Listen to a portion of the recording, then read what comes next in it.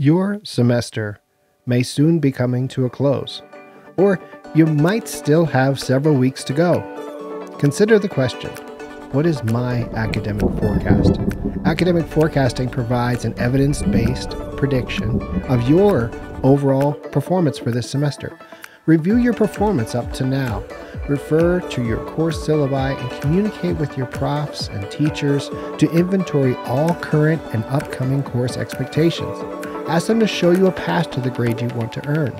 Create and stick to a homework and study schedule for the remainder of the semester.